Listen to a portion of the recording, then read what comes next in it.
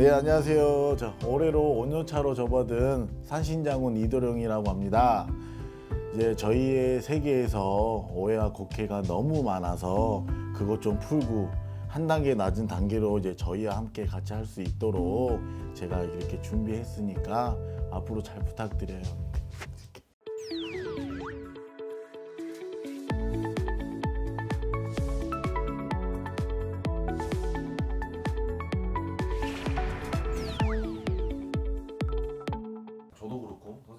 사람들은 많은 꿈을 꾸죠. 네, 네, 많은 꿈을 꾸는데 꿀죠. 이런 말들이 있어요. 이것도 돈을 불러주는 꿈이 있다. 뭐 돼지 꿈을 꾸면은 로또를 사라.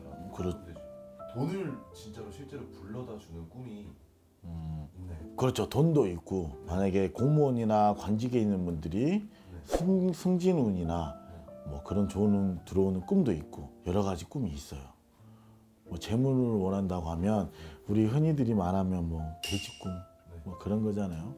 근데 그것보다는 내가 봤을 때는 어느 누군가 특정 인물이 높으신 분이 나와서 악수를 한다든가 네. 아니면 같이 이야기를 한다든가 그러면 저는 어느 정도 좀 좋은 운이라고 생각을 해요. 어, 근데 이제 특히 뭐 우리 말하면 뭐 용 꿈이든 뭐 돼지 꿈이든 이런 꿈이 있겠지만 돼지라고 해서 또 똑같은 돼지가 아니거든요. 흑돼지가 만약에 네. 집안에 들어온다는 거는 누군가의 상문이 될 수도 있고 누군가가 그렇게 가실 운이 있다는 건데 대부분 어 나 왜 돼지 꿈 꿨는데 왜 안 좋은 일이 계속 일어나지? 라는 분들이 많으면 물어보면 대부분 검은색이라고 그래요 색깔이 어두운 색깔 근데 그리고 어떤 할아버지 조상님들 꿈이 대부분 원래는 좋고 원래 돼지 꿈보다는 조상님들이 와서 무엇을 건네준다던가 무엇을 받는다던가 대부분 꿈에서 뭐 식사를 한다던가 뭐 그런 꿈을 많이 꾼다는 꿈 사람들이 대부분 있어요. 그러니까 꿈에서 혹시나 뭐 닭을 먹는 꿈이나 같이 사람들 모여서 밥을 먹는 꿈이나 그런 꿈은 좀 안 좋은 꿈이야.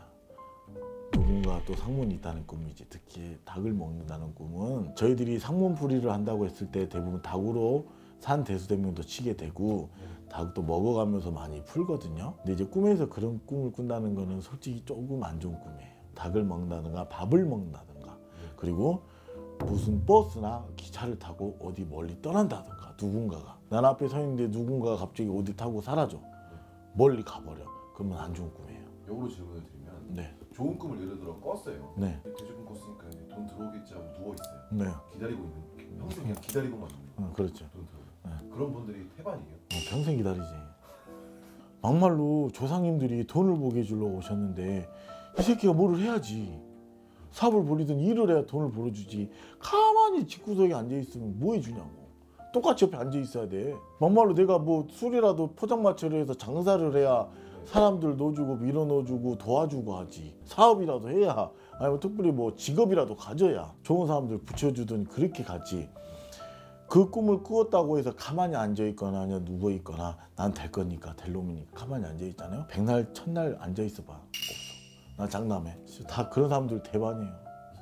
나꿈 꿨는데 꿈에도 누구 대통령이 와서 악수했는데 저 좋은 일 생길 거잖아요. 나 진짜 뭐 욕했어요. 나. 에라이씨 이러면서 근데 다르게 질문을 드리면 예를 들어 이번 이번에 나쁜 꿈을 꿨어요. 네. 진짜 너무 무섭다. 네. 집에만 있어야지. 네. 그리고 또 그런 나쁜 꿈을 꿨다고 집에만 있는 분들도 있어요. 그런 안 좋은 꿈을 꿨을 때는 솔직히 가만히 있는 건 맞아. 근데 꼭 그렇다고 해서 안 좋은 일 안 생기는 건 아니지만 그걸 염두에 두고 그냥 하나하나 조심만 하면 돼요. 숨어 있거나 도망가고는 그러지 마요. 나쁜 징조가 있다는 거지. 그렇죠. 나쁜 일이 확실히 있다는 거 아니에요? 조심만 하고 알려주시는 거예요.